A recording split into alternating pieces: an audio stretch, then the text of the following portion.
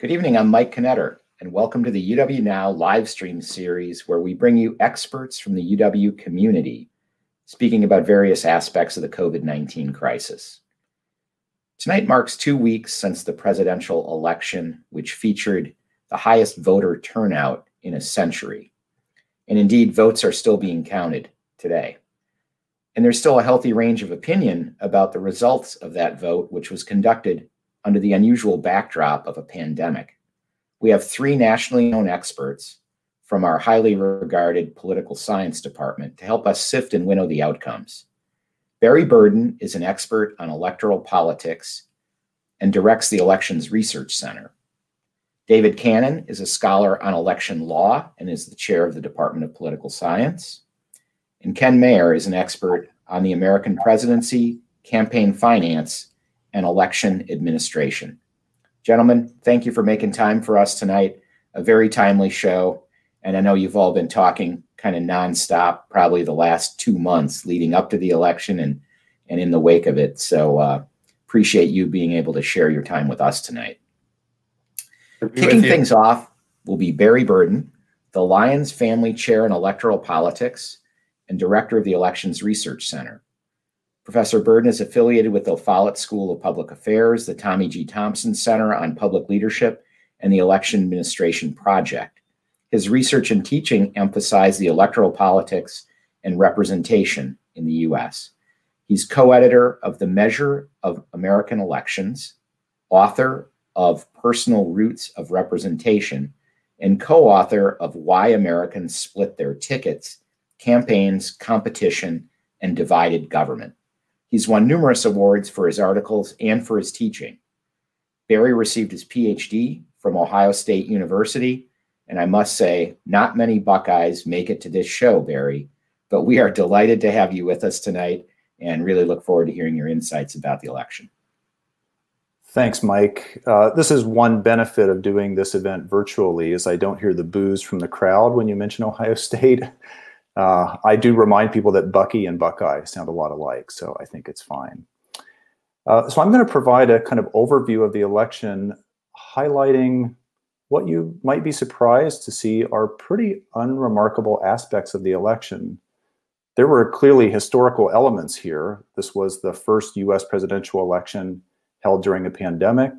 There was a massive shift to voting by mail and voting early and an impeached president was on the ballot running for reelection for the first time. So those are clearly historical events that uh, maybe won't be repeated. But I want to emphasize what I think are more mundane parts of the election that make it, I think, a little less exceptional than you might expect. So let me start with one way in which the election was remarkable, and that's the next slide. It was remarkable in that a one-term president was booted from office what you see here are the outcomes of elections since 1960, so going back 60 years. For cases where a party was in the White House for only one term, those are the cases on the left, versus situations where the White House uh, was held by the party for two terms or more. And what you can see is that presidents or their parties seldom lose when they've been in the administration for only four years. It's only happened once since 1960, and that was Jimmy Carter being defeated for reelection in 1980. So uh, credit to the Democrats in knocking off a president, which is hard to do. Uh, notice on the right, you get just the opposite pattern. When a party has been in power for eight years or longer, they're very likely to be defeated. There's only one exception to that since 1960. Uh, and I think it says something about Trump's reelection odds or the prospect that he would continue for a second term, given that his victory in 2016 was after two terms of the Obama administration the Democrats were set up to lose in that instance, the way parties often are. After eight years of time in office, I, the electorate is often feeling a kind of fatigue and looking for a different direction. And they went a different direction with Trump in 2016, but decided not to keep him in 2020. So this is one of the few really exceptional elements this year in the outcome. But what I'm going to show you now are the ways in which it was not so unusual Let's start with the Electoral College. As you've probably seen, all of the states have now been projected or called by all the major media outlets. The result is 306 electoral votes for Biden, 232 for Trump. That's almost a perfect mirror image of four years ago uh, when Trump won 306 electoral votes. Uh, the one difference is that four years ago, there were some so called faithless electors who didn't vote for their party's nominee. But essentially, this is the division. It was not exceptional four years ago, and it's not this time around. Uh, five states did flip from Trump to the Democrats. Three of those are in the Midwest Wisconsin, Michigan, Pennsylvania, which are often thought of as the blue wall. It's a very tenuous blue wall. Uh, Biden won those states, but not by big margins. Uh, he also converted Georgia and Arizona, which Democrats had not won since 1996 and hadn't won, I think, since the 1950s before that. So those five states made the difference. Everything else held exactly where it was. So very much a stasis uh, kind of result. Um, I would mention also that Biden's victory was not the kind of future Democratic Party that people like Stacey Abrams uh, from Georgia had been imagining. His victory was not the result of a massive increase in turnout among African American and Hispanic voters, for example. Turnout in those minority groups appears to be pretty flat or maybe down, and more Black and Hispanic voters actually voted for Trump this time around than four years ago. So Biden's victory is one that's built really on winning over a slightly larger share of white voters, especially those with college educations and many of the suburban voters you've heard about. So a pretty different kind of coalition, I think, than the Democrats were imagining. So that's the electoral college pattern, not terribly exceptional. And that's also the case if we look at the popular vote. As Mike said, votes are still being tabulated in places like New York and California, and that will push the Biden numbers higher. But I think most projections are that when all is said and done, Biden will have won the popular vote by four and a half or five percentage points. Let's call it five and be generous. There it is. That's the light bar out on the right-hand side of that graph. And what you see is going back to World War II, all of the other margins of victory in the popular vote, blue bars being cases where the Democrats won, Republicans uh, in red. And the, a five-point victory this year is nothing to write home about. You, would rather be on the winning side than the losing side, but it's it's no landslide. It's right in line with where things have been in recent years. Uh, in fact, the, the Democrats winning the popular vote is also in line with where things have been in recent years.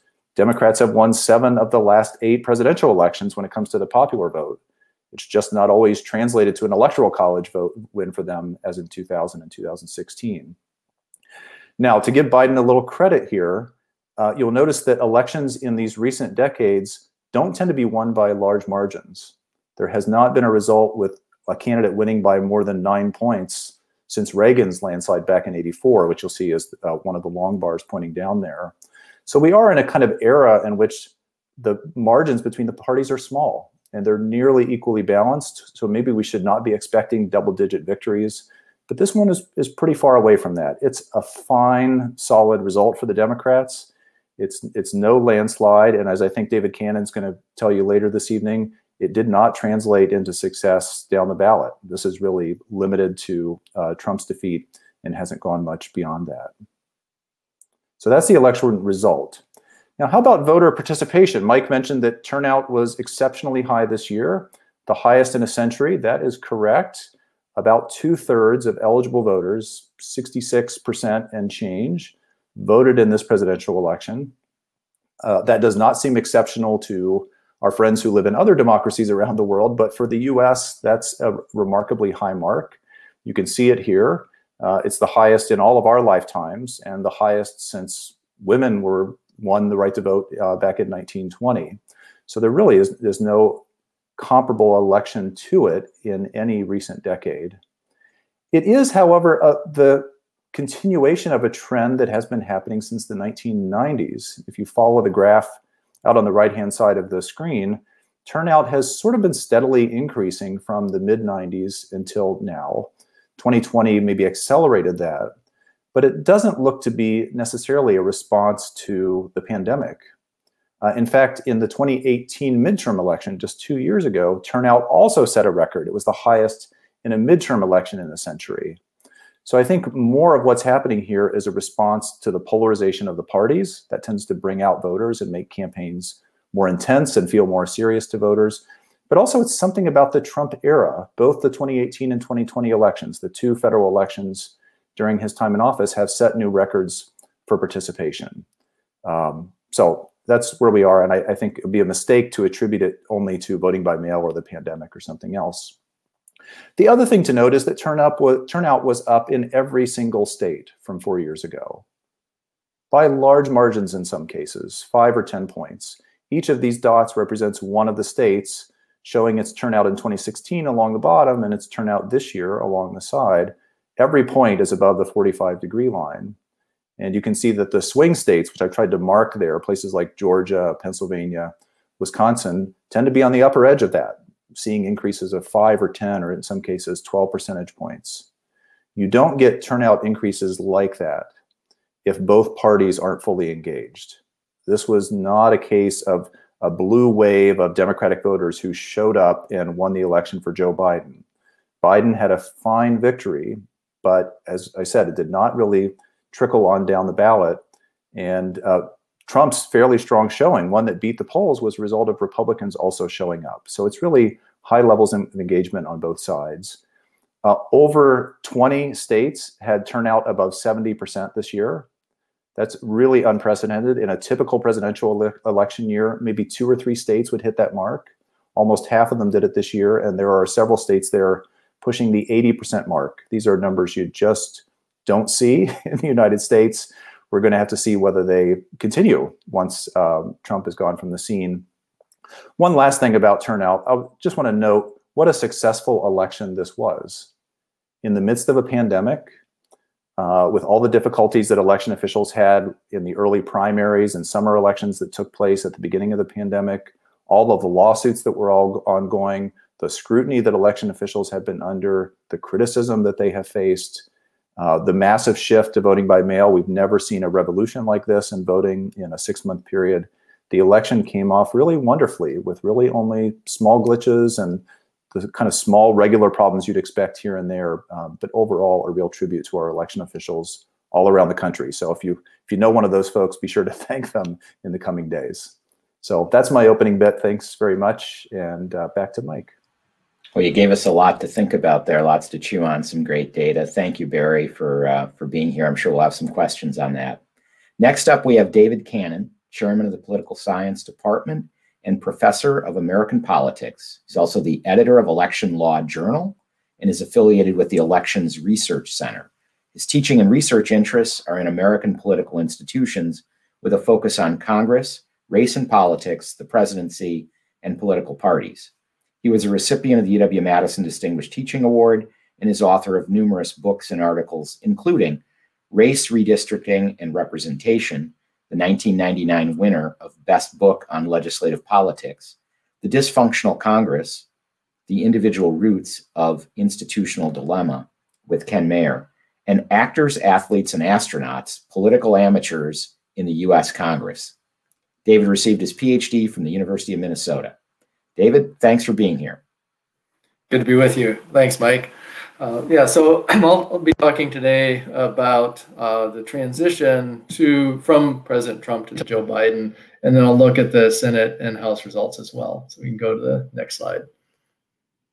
Okay, and then yeah, the next slide. So the with the peaceful transition, uh, as Barry just mentioned, it really was a, an amazingly smooth election given the circumstances. But now with the uh, continued resistance of President Trump to accepting the result of the election, uh, we are seeing a little more unrest in the streets now, and I, I think you know, people are you know, concerned about what's going to happen in the next two months. Will we have a peaceful transition? So that's going to be the uh, first thing I want to focus on. Also talk a little bit about the Senate and how it looks like the Republicans probably will hang on to the Senate. Um, here it depends on the two uh, Georgia elections, uh, the runoff elections in January on January 6th. Uh, so far, there's been a net gain of one seat for the Democrats. Uh, they were expected to actually gain control of the Senate. They were expected to pick up about three to four was the sort of median forecast there. Uh, that didn't turn out. And so, as, as Barry mentioned, Biden's success at the top of the ticket did not translate on down further the ticket to the Senate and House races. And the House actually was even a bigger surprise than the Senate. Uh, the Senate Democrats were given about a 75% chance of picking up the Senate, uh, but they were given a 97% chance of hanging on to majority control of the House, which right now they're gripping on just by their fingernails. They just are sitting at 218, which is the bare minimum you need. They'll probably end up at about 222. There's still like 13 races that haven't been called yet. And we'll look at those in a little more detail in a few minutes. But it looks like the Republicans will pick up somewhere between 10 and 12 seats uh, in the House. So next slide. So the, the thing I want to talk about next is the uh, the question of you know can President Trump stay in office? That he is not conceding defeat at this point. He's not uh, recognizing that that Joe Biden has has won the election. So what what is the basis for him trying to, to pull this off? Well, the first uh, is going to the courts, and he has attempted uh, various lawsuits in most of the swing states. And generally, they've been in three categories claims of fraud, uh, claims that there wasn't uh, enough access for election observers, and then uh, equal protection kind of claims under the 14th Amendment. In each one of these types of cases, uh, they've either been dismissed or withdrawn, with a few exceptions of some cases that are still in court. But in all of those cases, there aren't enough votes that are still in doubt, even if they were to win those uh, those cases, to actually change the results in any of the states. And so, one of the the top election law experts in the country, Rick Hasen, said the other day on his election law blog that there is like zero percent chance that Trump will be able to to win the presidency through the, the federal courts at this point. And in the cases that have been dismissed, uh, the, the, the, arguments presented by the, the lawyers for the president uh, have had such flimsy arguments that, you know, in one case in, in Michigan, the, the Judge Stevens uh, dismissed a filing as inadmissible hearsay within hearsay. It was like double hearsay. Uh, and then in the uh, Pennsylvania case, it was dismissed. There, uh, the the Trump attorney admitted under oath that actually was a, non-zero number of election observers there, and the federal judge then said, "Well, I'm sorry. Then what's your problem?" and dismissed the case. Um, in the cases in Pennsylvania, Wisconsin, they were trying to throw out much larger number of, of votes uh, uh, based on the argument that mail-in votes were being treated differently than in-person votes and didn't use the same standards for qualifying to, to vote. Those were actually withdrawn by the Trump's attorney before they were heard because I think they realized that the argument was not going to fly. Um, recounts are the, the second strategy. And here too, there really is no way that this is going to change the results of the election. Here in Wisconsin, we just had our canvassing process completed this morning. Uh, there was a net shift of 73 votes towards Joe Biden after they checked all the numbers. Uh, recount uh, yields similarly small shifts anytime there's a, a, national recount. In fact, over the last 20 years, if you look at all of the statewide recounts that have happened in 20 years, the average vote shift is about 400 votes. Uh, and you're looking at more than 45,000 votes that need to be flipped in uh, Georgia, Wisconsin, Arizona, which would get Trump to the uh, tie actually at 269, 269, in which case he would actually win the presidency uh, because the House of Representatives then would decide the, the uh, who would be president, and there's a majority of states uh, that are aligned with Republicans right now. So that would be enough electoral votes to do it. But in order to get that outcome, you'd have to flip more than 45,000 votes in a recount, and that simply isn't going to happen. In fact, Scott Walker had a tweet, in the next slide, uh, shortly after the election, where Scott Walker uh, tweeted that after the recount, uh, that we had in the Wisconsin Supreme Court race in 2011, there was a swing of 300 votes. And he points out that in the recount that uh, Jill Stein, the Green Party candidate, asked for in 2016, Donald Trump gained 131 votes. And uh, Scott Walker points out that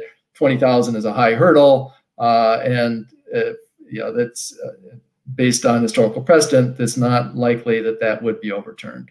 Um, and then the next slide then takes the uh, the final approach of what President Trump might use as strategy for staying in office. And this too is not going to work. And this is something that you may have been reading about of the idea of alternative slates of electors.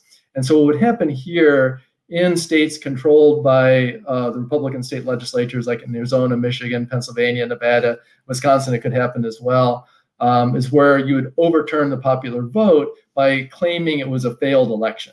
And then uh, if they you know, fail to certify the vote and, uh, and there's not uh, a certified slate of popular vote uh, determined electors, then the Republican legislature could potentially present an alternative slate for Donald Trump. Well, this is not going to work for three reasons. First, there already have been in a couple of the key states, Pennsylvania, Michigan, the Republican legislative leadership has rejected this idea. Uh, the Speaker of the House in Michigan said that whoever gets the most votes will win Michigan, period, end of story, we move on. Uh, similar comments from the Pennsylvania leaders. Uh, second is that there are Democratic governors in three of those states Michigan, Pennsylvania, and Wisconsin. And if they're following state law, this actually would require the governor's signature because it's a state law that determines that the popular vote determines the outcome of the elector electoral college votes. And to change that process, uh, you'd have to have a presidential signature or a gubernatorial signature to, to do that. But clearly, that's that's not going to fly. Uh, and in fact, to do that after the election also would would not uh, would not be upheld by the courts. And finally, even if all of that went ahead anyway, and they presented their slates, uh, and you had two alternative slates, then one presented by the governor, one by the state legislature, then Congress would actually decide which slate to accept under the Electoral Count Act of 1887. And here you'd have to believe that the four Republican senators who've actually already called Joe Biden to congratulate him, uh, Murkowski, Collins, Romney, and Sasse, uh, would vote with the 48 Democrats, and that would be enough to then reject these alternative slates. And so, uh, by those, yeah, this really does seem like it would be a stretch to have that be a, an alternative path for President Trump to stay in office. Okay, then quickly just to, to look at the results in the, the Senate and the House. So the Senate map looks like this, uh, with most of the country uh, not changing uh, parties for their Senate races. Uh, the darker colored ones are the states that flipped. So of all of the, the races that were up this year in the Senate, only three have flipped so far. Arizona and Colorado to the Democrats, uh, Alabama to the Republicans with a net gain of one for the Democrats. Mentioned those two Georgia races on January 6th that could potentially determine the control of the Senate if the Democrats pick up both of them, uh, giving a 50 50 tie with Vice President Harris. Breaking that tie would give Democrats majority control. Uh, that's, I think, a bit of a long shot right now, given the Republican Party's track record in Georgia and, and winning runoff elections. They usually do pretty well in those. Um, but the state is definitely trending in the blue direction. So uh, there'll be very competitive races, and we'll you know, see how those uh, turn out. The House also was generally a, kind of a status quo election. There, the uh, incumbent reelection rate was around 96%, uh, and so that's about as status quo as you can get. And again, the the dark shaded uh, districts are the ones that that flip control. Uh, the Democrats flipped a couple seats. The Republicans so far have, have flipped uh, 11. Um, and so there's a, a, net gain so far of, of eight uh, for the Republicans. And so again, I'm guessing that'll end up about uh, 10 to 12 once all the dust is settled. Um, and finally, just one last thing I want to mention. This is something actually has come up in uh, my, my Congress class I'm teaching this semester. One of the students asked about this uh, and said that you know they've been reading about how a lot of their friends are saying that the reason that the Democrats didn't do better in the House and why the Republicans actually are picking up seats is the Democrats didn't uh, run far enough to the left. Um, but the, the, opposite, I think, is actually closer to what actually happened. And the, there was a uh, sort of internal discussion about this in the Democratic caucus last week, where House moderates blamed the losses on the socialist label that was pinned on them, uh, and that they were, you know, even if they were quite moderate themselves, they end up losing because of that that label. And the progressives came back and said, well, no, it's just you didn't run far enough to the left. But the evidence does seem to, to back up the former claim rather than the latter, that these were districts that were very uh, right center districts, that most of them had been districts the Democrats has flipped from Republican Party to the Democratic Party in 2018 and now flipped back to the Republican Party. In a couple of cases, they were uh, very moderate districts like the Minnesota 7th that had been held by a moderate Democrat for many years, that finally flipped Republican. So it does seem like uh, this idea that the, the party would have done better had they run harder left just doesn't stand up to scrutiny when you look at the, the House races for the ones that the Democrats actually won in. Okay, so that's uh, my spiel, and uh, Ken will take it from here. Well, thank you, David. Um, next up, we've got Ken Mayer, who is a professor of American politics and affiliated with the La Follette School of Public Affairs. Ken's teaching and research interests are in American government and institutions, especially Congress and the presidency, campaign finance, and election administration. His current research focuses on evaluating the effectiveness of recent state level campaign finance reforms and election administration. He's active as an expert witness in campaign finance, redistricting, and voter ID litigation. He has also consulted on recount disputes and Voting Rights Act matters. He's won numerous awards for his teaching and research, and I might add one of those awards is a UW 2020 grant to do further study on redistricting. He's also the author of With the Stroke of a Pen Executive Orders and Presidential Power, The Political Economy of Defense Contracting, The Dysfunctional Congress, The Individual Roots of an Institutional Dilemma, with our previous speaker, David Canon, and presidential leadership, politics, and policymaking. Ken received his PhD from Yale University. Ken, welcome. Thanks, Mike. It's good to be with you, and I'm sorry we can't be together in person. Uh, but uh, what I'm going to talk about is taking things down to a level uh, below the federal elections to talk about uh, the effect of the 2020 elections on redistricting. But before uh, we get to that, I just want to make one uh, observation as a quick take. If we could move to the next slide. And ag- agreeing with uh, what David said about the prospects for any uh, litigation or recounts to uh, change the uh, the election results, I'd put it somewhat more emphatically that that the claims of uh, material levels of uh, illegal voting or fraud. Uh, I describe them as laughable, except for the part about how harmful they are to uh, democratic legitimacy. Every single claim of irregularities has fallen apart uh, when subjected to even the mildest scrutiny. Of all the cases that the the president's campaign has filed or the president's supporters have filed on his behalf. The only, they've either all been dismissed, withdrawn, and the only case that uh, the president got the result he was looking for was when a federal judge in Pennsylvania ordered county election officials to segregate ballots that uh, were postmarked by election day that arrived after election day, uh, which election officials were doing in any case. And the claims that are left, as David had said, involve a very small number of ballots 80 ballots here, 140 ballots there. So the, the prospect of uh, litigation or recounts changing uh, the results is essentially zero. We can move to the next slide. But when in thinking about the consequences of the election, one of the the, the long-term effects of this is that the redistricting that takes place uh, after the 2020 census, which will happen, uh, will require every state with uh, to redraw its state legislative districts, and every state that has more than a single congressional district to redraw its congressional districts. And uh, as both Barry and David had indicated, that below the presidential level, it was essentially a status quo. There, and this is also true at the state level that there was only a single state, New Hampshire, where partisan control of either legislative chamber changed. And in New Hampshire, the Democrats had control of both going into 2020. And as the result of the election, the Republicans recaptured both. Uh, so this means that there will be basically no change in the partisanship of the states that control the redistricting process. One substantive change that in Colorado and Ohio, voters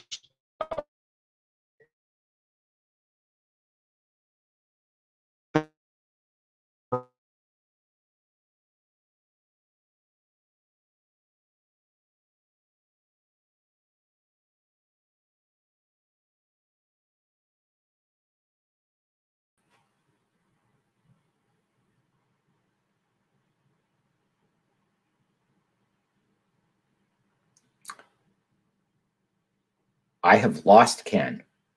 um, Ken was talking about the substantive change in control in New Hampshire.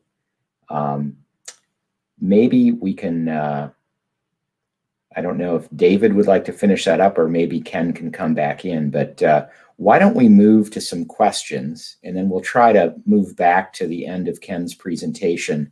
Uh, and if he's able to come back and do it, great. Otherwise, um, we'll pass the baton to David since they were co-authors once. Why not? Huh? Sure. So, yeah, I could, I could do that if I had to. I definitely all right. pinch it. so. All right. So um, if if Barry and David uh, could come back in, um, you know, I'm going to start out. David, uh, both you and Ken had addressed issues about fraud in this election, and I, I guess uh, you know if you haven't worked an election and you haven't really studied these things, and you just watch the news, it is a little bit unsettling. Um, you know, sometimes to hear all these claims. Now, I, I do hear the the words repeated often. You know, there's no evidence of widespread fraud, which doesn't necessarily make me feel great. I'll admit. Um, Ken, are you back? I'm back. I'm sorry we had uh, uh, we had problems with the internet uh, connection, which has become a routine part of all of our lives now. um, but I, I, think rather than uh, take up more time, uh, I'd, I'd, like to move to just to the last slide, if I if I sure, could. that'd be great. We'll go back to that. Uh, one of the consequences of the Supreme Court deciding in 2019 that issues of partisan gerrymandering are no longer justiciable by the courts. What this means that it means that in, in states where state legislatures draw district lines, that they essentially have free reign to draw lines that are as biased as they can, uh, as long as they comply with uh, other federal requirements such as equal population and the Voting Rights Act. And uh, one of the slides I have, I'm not going to show it, sort of demonstrates that in 2010, how effective in Wisconsin the Republican legislature was in drawing uh, a very effective and durable partisan gerrymandering mandering plan for the state legislature that allowed the Republican Party to maintain almost supermajorities in the assembly. The, the number of seats that the Republicans controlled ranged between 59 and 63 seats uh, out of 99, even though in, in three elections they actually received below less than 50% of the uh, statewide vote. And the most that they received in 2014 was about uh, 52%. And this graph shows um, the, the, the differentials in the way that Democratic votes were translated into seats. Uh, the x-axis shows the statewide percentage of the vote that the parties received, and the y-axis shows the percentage or the number of seats, which is essentially the same as the percentage since there are 99. Uh, and what this shows, since the red line is uh, well above the blue line for any plausible uh, range of uh, statewide votes, that the, this gerrymandering plan was both very efficient in translating uh, votes into more seats uh, than would have been expected under a fair plan, but that both the 2018 and 2020 were right in the wheelhouse. So I'll stop here. I apologize for the uh, for the connectivity problems, and we can get back to when I came back in. Mike, you were asking a question about vote fraud. Yeah. So um, I, I, was going to say, you know, uh, as as just an ordinary citizen, uh, you know, I watch the news. I, I don't work at the polls. Um, you know, if if there weren't the lawsuits, so I guess in this case we've had a lot of court challenges in different states uh, that, as you've noted, have been thrown out. How do we know that our voting system is working well, absent those kind of challenges being thrown out?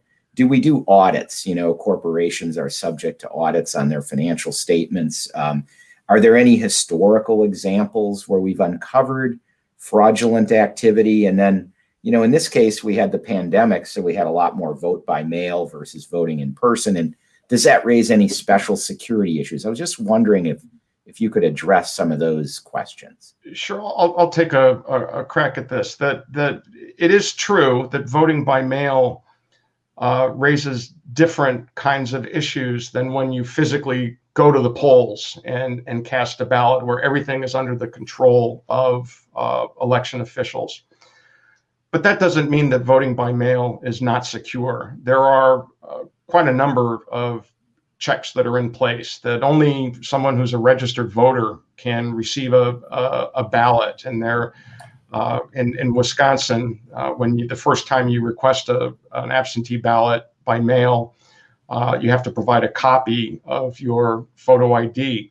Many states have signature matching requirements. In Wisconsin, there's a witness requirement where you have to sign, and the ballot has to be signed by someone else who is also uh, over the age of uh, 18 the so that and these ballots are very carefully tracked. So the, the notion that as the president had suggested that it's it's possible to flood the zone with uh, uh, fraudulent ballots that, that aren't connected to a voter or that it's possible for uh, ballots to be submitted uh, on behalf of voters who have died or voters who uh, are not eligible uh, the they in practice they, they're simply false. Uh, and one of the reasons that vote fraud is so rare is that it is both a crime that makes very little sense to commit because the idea that you're going to affect uh, an election result uh, with one or two fraudulent votes and anything larger than that would require a massive conspiracy that becomes more likely to detect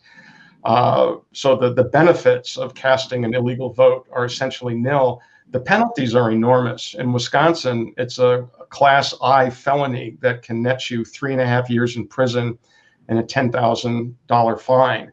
Uh, and uh, uh, we, we know from experience and, and or I won't say experience, the, the empirics that uh, invariably claims of voter fraud or uh, uh, voters casting illegal ballots or election officials being able to manipulate vote totals and not get caught. Uh, it just doesn't happen. And I might just add to that, Mike, the cases that you sometimes hear about in the press are often allegations or suspicions, but upon further probing, they are usually misunderstandings or administrative errors I'll give you an example from Wisconsin back in, I think this was the 2004 presidential election. There was a case of two people who were ex felons but were still on parole voting in Milwaukee. They did vote, but they went into the polling place with their parole officer. They weren't sure if they were eligible to vote. They asked the poll worker, Are we allowed to do this? And the poll worker said, Yes, you are, which was not true. It was a misunderstanding. Uh, they registered on the spot because the state has same day voter registration. Both of them cast ballots. The parole officer also didn't know what was going on and allowed it to happen. So they committed a crime accidentally, but in an open view, not in an intentional way. You, you ask what protections are in place. In, in Wisconsin, after every election, there's a full canvas of the state. Every county does a canvas of its own votes to make sure that they are accurate and complete. It's a bipartisan process. So there's a Democrat and a Republican as David said, just finished this morning, open to the public. It was, the one in Dane County was live streamed. I watched some of it. It's like watching paint dry, but it's necessary. Uh, and so anyone who's serious about having these kinds of concerns can watch that process. And then coming up, there'll be an audit of the state where a random 5% of polling places around the state are selected. Those ballots are counted by hand and matched against the, the canvas results to make sure they're right. So there are a lot of procedures that I think most of the public doesn't know about, and maybe learning about those would help build up levels of confidence. And then finally, just to, one last thing to add to this, to even give a, a greater sense of confidence in our election machinery, is that the recounts we do have, again, we've had you know multiple statewide recounts over the years. They always show a very, very tiny proportion of votes being changed. And this is going through like vote by vote and making sure that it actually was correctly recorded. And there, you know, a few hundred out of you know five, six, seven million votes that change when you do have a recount. And so I think the voters should have great confidence in the validity and integrity of our election system. Yeah, so I'll just follow up with with two examples that there was a noteworthy allegation that a, a, dead man had voted in Georgia, that he had died in 2006 and had continued to cast ballots. And reporters went to the address and they knocked on the door, and his wife answered, who was registered as Mrs. uh, the man's name. And so she had been voting under that name and was very much alive. Uh, and on recounts, that there have been three elections, statewide elections since 2000, where the recount has actually flipped the result. Uh, this is the 2004 Washington gubernatorial race, the 2008 Minnesota Senate race, and I think a 2006 state auditor race in Vermont. The largest vote margin that has resulted in a recount flipping it is about 260 votes. And so what this tells us is that those counts are actually are accurate. Yeah, probably recount has as much chance being wrong. Who knows? um, so, uh, Barry, I'm going to come to you with a question. The chancellor couldn't be with us tonight, but she had a question she wanted you to answer, which is um, how did the pandemic affect the outcome of this election? Did it seem to sway undecided voters, or did things look different a year before the election than they looked on election day? Yeah, it's a good question. And I, I, think the end result was different than what I was expecting. I believed, like a lot of people, that the pandemic probably worked to Biden's advantage because it pointed to an area where the public didn't have a positive rating of Trump's performance. He, Trump fared better when people were asked about his handling of the economy, say, where often more people said they approved than disapprove. But on the pandemic, Trump was underwater. And I figured as long as the public was focused on that, that um, he would be off his game and not be able to drive the messaging. Um, but it appears that it actually didn't have much effect. I had my students this semester produce predictions of the election outcome, forecasts, using regression models that political scientists have developed to forecast elections. Those models don't include anything about pandemics. They are based on things like economic performance under the incumbent, approval ratings of the incumbent, and uh, my students' predictions were right on. They predicted about 46 or 47% of the popular vote for Trump. The rest to Biden, that's about where it's going to end up, as I mentioned, about a four or five point gap. So the pandemic didn't play much role there other than it did push the economy in a negative direction. And that, again, that was one area where even despite what had happened to GDP from the first quarter to the second and third, the public still had a mildly positive view of Trump. And so he didn't pay much price for that as well. There were also some Trump supporters who proudly went to vote in person as a show of solidarity, I think, with the president and standing up against the pandemic, wanting to show their resolve. So, in the end, it may have been cl- close to a wash in a lot of states. Mm-hmm.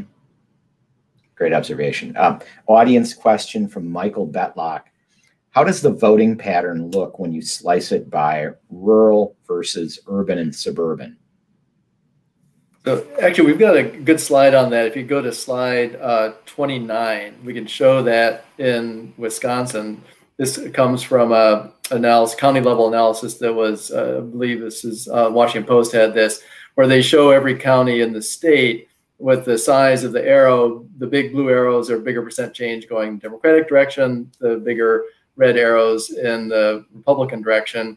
And what you can see happening in Wisconsin happened uh, pretty much all over the country. There are some exceptions like Colorado, uh, Arizona. There were a few exceptions to this, but in general, what you saw happening is that the rural counties that had gone for Donald Trump in 2016 even went more for Donald Trump in 2020. There were like 33 of our 72 counties that fell into that category, rural counties that moved even more in the Republican direction.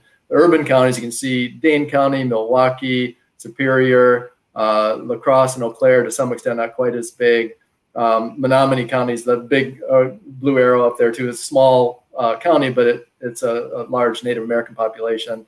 Um, those were so that's the one rural county that shifted blue. But in general, it's the urban areas that were moving uh, more in the uh, the Democratic direction, but actually more suburban than urban. Um, so the you know urban areas had the highest percent Democratic vote, but it's actually the suburban areas um, that were trending more in the Democratic direction. Uh, and you saw that happening again all over the country as that's where Biden did his best was in those uh, suburban uh, counties where he had the biggest shift, whereas Trump held his own or increased his margin in the rural areas. So that's this kind of regional polarization that our colleague Kathy Cramer has written so much about um, that was really evident in 2016 was even probably a stronger relationship in 2020. Thank you. Uh, another audience question from Max uh, for Barry.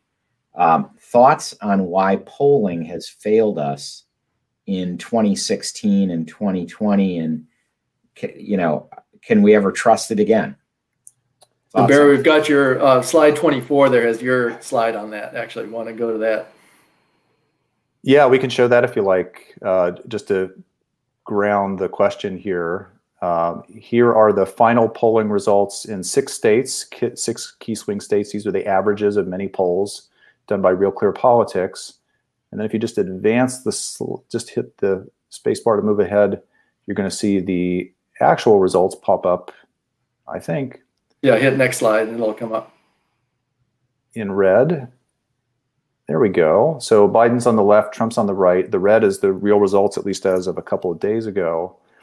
What's remarkable is that the polling got Biden about right in every state. It's within about a percentage point, sometimes less than that. Definitely within the margin of error and right on the money in places like Wisconsin and Michigan.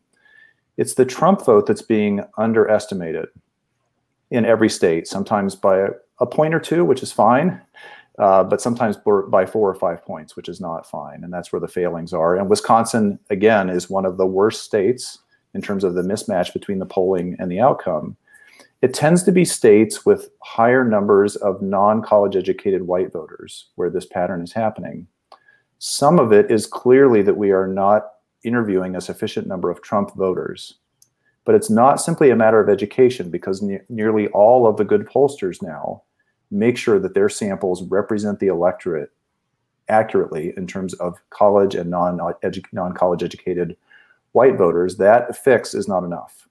But there are apparently some, not just Trump voters, but Republican voters down the ticket this year who were set, who were not included in the survey in the first place. So it's not exactly a Trump phenomenon. Uh, it's not a shy Trump voter phenomenon. We're pretty sure that's not happening. It's not that people are in the survey and then are not willing to admit they're voting for Trump. That doesn't explain why someone like Susan Collins in Maine would outperform the polls by a mile. She's a moderate Republican uh, she beat the polls. There's there's no shy Susan Collins voter, I don't think, in Maine. So that's one side of things. I think under including, for mysterious reasons, Trump voters, especially in states with larger white non-college populations. But also, I think the Biden numbers are a sign of worry as well. The polls should not be hitting those numbers exactly. The polls always have some residue of undecided voters. After all, they're conducted before the campaign is over. So some people should still be undecided. And in most years, the numbers for both candidates are below what you eventually see, right? As the final voters make up their minds. Here we're hitting Trump about on, or maybe even slightly overestimating his vote.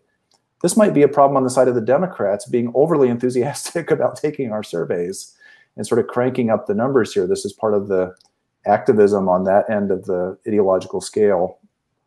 This is going to consume me and a lot of people who do polling over the next couple years. Um, I will point out that the polls were pretty good in the 2018 midterm elections. They got it about right around the country, and very good in the Democratic primaries this spring. So in spring and summer. So there's something about 2016 and 2020 and maybe the nature of the Trump coalition that is a real challenge. Interesting. Uh, question from Lou Holland um, for Ken or for all of you. Uh, has the Electoral College system run its course and should it be retired? So I'll, I'll take the first crack at that and then turn it over to my colleagues. That, in, in one sense, this is a purely hypothetical argument because there is no chance at all that a constitutional amendment will make its way through the process. The two thirds majorities in both the House and the Senate, and then three quarters of the states. It's just not going to happen. At the same time, you can also say that the well, I, I can uh, I will advance as a proposition that the idea that the framers created the electoral college as this carefully calibrated mechanism that balanced competing interests and uh, was designed to produce this uh, result that that balanced state interests and assured that uh, presidents would have majority support is simply false. That the Electoral College was a kludge. It was a compromise that failed almost immediately by the election of 1800. There was some concern that it might lead to the breakup of the Union. uh, most of the justifications for the electoral college, when you really subject them to scrutiny, they they fall apart. Having said that, it's it's here, and other than the slight likelihood that there's been an effort in states over the last decade for states to amend their laws to allocate their electors uh, to the candidate that receives the most votes nationwide. It's called the National Popular Vote Compact. There's some question about whether it's uh, whether it's actually legal or constitutional, but it hasn't actually reached the the trigger point where it goes into effect.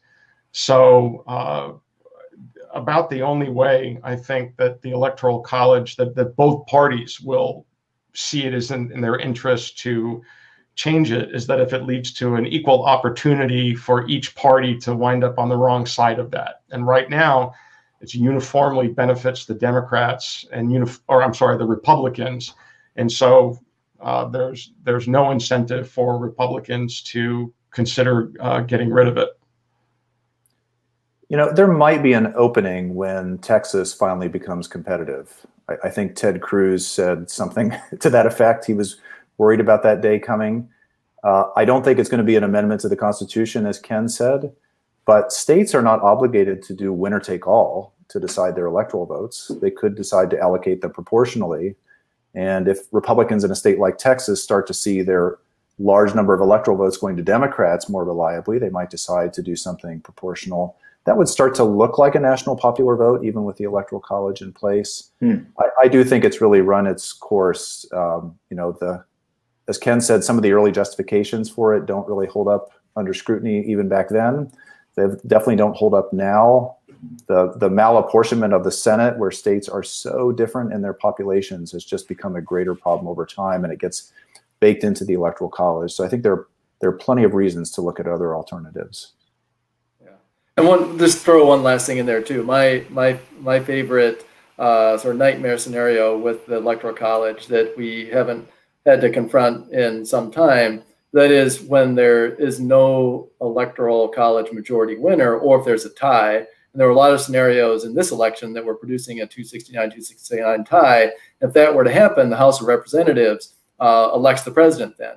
And talk about unequal representation. Then you have the littlest states like North and South Dakota, Wyoming, having the same power to elect our president as the biggest states of California and Texas and Florida uh, and New York. And so that you know leads to a mal uh, malrepresentation of like a you know 55 to 1 ratio and it's just really you know way out of whack so just one final comment on that there there is a statute called the electoral count act which is from the 1880s which came into play in Florida in 2000 that is designed to to forestall a failure of the electoral college or a dispute in uh, the the vote in a state. And uh, uh, uh, as Ned Foley, who's a professor of law at Ohio State and probably one of the most uh, respected election law scholars in the country, the problem with the electoral call with the electoral count act is no one really has any idea what it means the language is impenetrable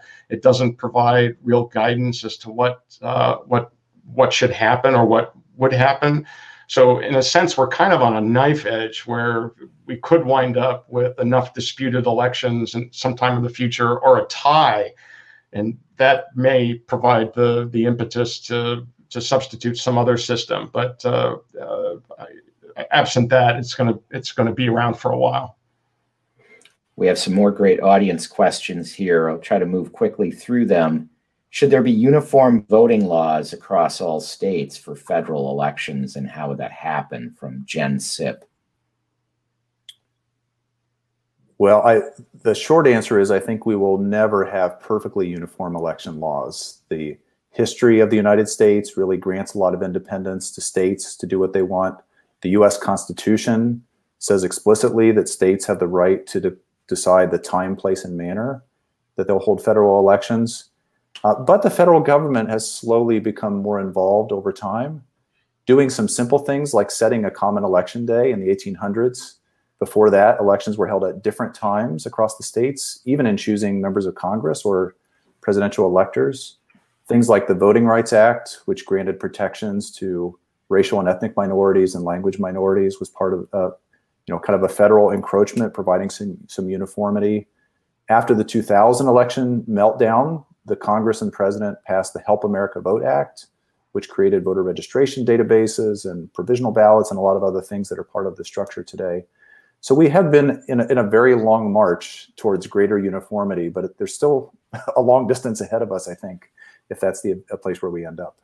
Yeah, I, th- I, think Barry is is is right that a, lot of the differences between states, uh, registration methods, uh, the availability of absentee ballots, uh, that that those are things that uh, I think would uh, uh, have a tough time withstanding Supreme Court scrutiny as as violating some of these explicit provisions in the in the Constitution. Um, so which is also one of the issues of going to a national popular vote. That if you have non-uniform standards across the state, that just is another way of uh, of, of, differential weighting that replaces the uh, the inequities of the electoral college with a different kind of inequity.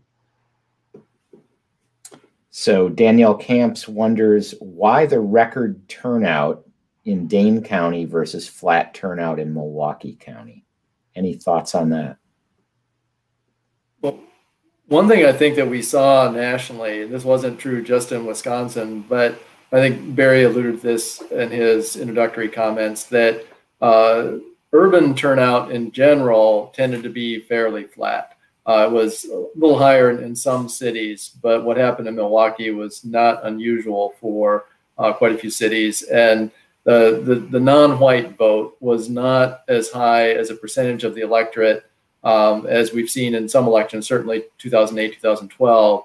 Uh, black vote uh, turnout was quite a bit higher than we saw in this election. So some of it had to, to do with the, the turnout of, of non-white voters. Um, and obviously there's a higher non-white percent population in Milwaukee than, than Dane County, but we saw that replicated in, in other uh, bigger cities and medium-sized cities around the country as well. I, would add two things to that. One is a socioeconomic status difference between Dane County and Milwaukee County. They're both Democratic, but for different reasons.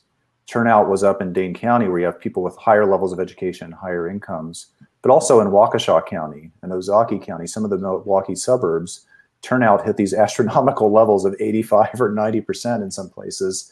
Milwaukee just doesn't have the same resources in the population. And then I think that was exacerbated potentially by the absence of the Democratic ground game. You know, the Democratic campaign, the Biden campaign, decided not to do face-to-face campaigning, didn't do rallies, all the traditional groundwork that Democrats rely so much on just wasn't happening. And I think Dane County can get by with that. Uh, there are other ways to mobilize people in a kind of high SES community but in a more resource poor community, I, I think that face to face canvassing really does have an effect. And it may have hurt, that may be one of the things that really hurt the Biden campaign in places like Philadelphia, Detroit, Milwaukee. Interesting. Uh, let's take one more audience question from Mark Ryan. Um, what is a possible solution that would help create an environment with greater compromise between the two parties? Uh, Mark notes that uh, perhaps gerrymandering or maybe the rise of identity uh, as a political force is creating these deeper and deeper divides between red and blue. Any thoughts on what we could change that would uh, help promote more compromise?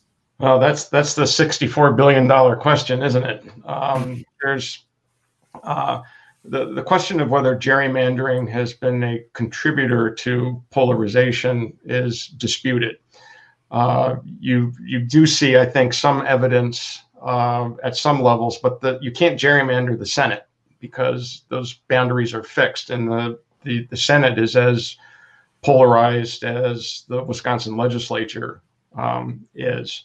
Uh, at the same time, one of the things that gerrymandering does is it insulates uh, partisan majorities that that are gerrymandered into majorities from accountability. So even large shifts in uh, voter behavior or voter preferences don't result in in changes. I, I, think the issues of polarization actually go much deeper than uh, gerrymandering.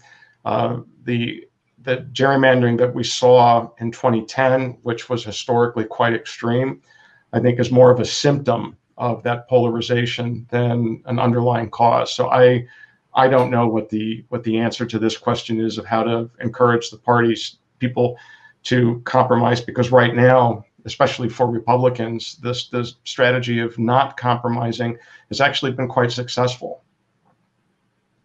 One interesting reform that's now moving across the states slowly is ranked choice voting. The state of Alaska just this week passed it to use in their elections. Maine used it for the first time in a presidential election this year. And there is a view that by having voters rank all the candidates rather than just picking one, it forces the parties and the candidates to cooperate on the campaign trail because there's always the possibility that the person who votes against you at the top of the ticket might rank you second and you might get those votes. And so there are cases like in San Francisco, they used ranked choice voting to choose the mayor. And in the last mayor's race, I think the top two candidates actually each endorsed each other, asking that each of them place their supporters second. And so you get people playing nice and maybe other parties showing up besides the Democrats and Republicans. So it might kind of soften the knife edge, you know, battles that are now going on between the parties in this closely divided era. Interesting. Uh, final question. You know, you mentioned the word polarization, and we certainly feel the polarization creeping into views on higher education. We see it in a lot of surveys, a Pew survey that came out recently. Um, you know, and we all know it's widely believed that academia would skew left of center politically. And I'm not just talking about students, but even faculty. Um, you know, what, what would you say to people, uh, prospective parent, uh, you know, concerned about bias coloring thinking and conclusions of faculty members? Um, you know, and especially I'm I'm real cognizant of that because we're talking about politics tonight. Right. How do you all address that, David? Well, one one thing I always tell my students on the first day of class is that I my goal as a teacher is always to give them the tools and skills they need to learn how to think about politics. I never want to tell them what to think. And so I, I really try to keep partisan politics out of it, you know, present both sides, both perspectives on, on different issues, and, and my goal is by the end of the semester, they won't know if I'm a Democrat or Republican. And I always, you know, do that as well in any kind of, you know, public speaking, media appearances, you know, where I think our job as social scientists is to try to provide the objective evidence necessary to be able to make informed choices. And that's that's what we we try to do is to, you know, to analyze the data and figure out why things are happening. And that's, I think, an important part of of the broader Wisconsin idea, the role of the university too, to, to play that role in educating the broader public. And so I think you know, all of us are committed to that that way of thinking about the relationship between political science as a science and informing these political debates. So I, will second what what David said that that this is something that we talk about amongst ourselves and in the in the broader discipline that I, I, think very strongly that that I that we have an ethical obligation to uh, be both neutral from a partisan perspective, but also to tell students the truth. Um, and uh, when I do the large undergraduate classes when we were in person, I always did a survey at the very end of the class where I, I asked, among other things, whether the students, what do you think I am? Do you think I'm a Republican, a Democrat? a green, a libertarian. And for for 30 years, the responses have been basically 40% say they think I'm a Democrat. It is Madison. Uh, about 25% say they think I'm a Republican. 5% say libertarian, and the rest have no idea. And that strikes me as, a, as about right. Um, so th- this is this is something that that I know that all of us in the political science department take take very seriously. That we have a an obligation to to students to not indoctrinate. So when you say that's about right, what are you today? No, I'm I'm kidding. are you forty the forty percent or the twenty five? Referring in here, I, I have testified repeatedly under oath in federal court that I am not a Democrat. So that always comes up. So I think Ken is a Sagittarius. Actually, Capricorn, but close enough. I, I was also just say this session we've just spent together over the last hour is pretty representative of what would happen in one of our classes. I don't think there was any hint of partisanship here. We're trying to understand what happened. We are curious people. We want our students to be curious and understand the world. And having a bias or pushing in one direction just doesn't serve that goal very well. It's not sifting and winnowing. And so we, we really prize that objective look for the truth. So I just just one last thing, Michael. I have two autographed baseballs on my bookshelf. One of them is from Harmon Killebrew. Uh, the other is George Will. So, all right. well, two great players, different games though. Um, well, I, I, thank you. You know, I, I also think it's it's certainly true. You know, in academia, you certainly get rewarded for being the person sometimes who has a different but correct point of view. You know, we we go into our professions often to question conventional wisdom, and that sometimes can make, I guess, the status quo feel a little uneasy with people like us. Uh, but it is sort of our job to question that, and uh, that's what we usually do uh, some of our research on. So, uh, well, thank you all for taking time to be with us tonight. This was a very informative session. I know I learned a lot, and um, you know, I, I, wish I could see you on the nightly news more often. Um, we need a little bit more of that fact-based uh, commentary, I think. So thank you all. Thanks, Mike. So the UW Now will be back on Tuesday, December 1. We're taking next week off. I'm going to spend next Tuesday by myself, getting myself psyched up for Thanksgiving, uh, which I think I'm supposed to spend by myself as well. Uh, until then, I hope you have the opportunity to catch our Badger Huddle armchair pre-games. Uh, the football season is back on for now. Let's hope we can keep playing because our team sure looks good this year. Um, and and these armchair pre-games are your answer to the tailgating shortage this season. Um, so thanks for joining us tonight. I hope you enjoyed our program on Wisconsin.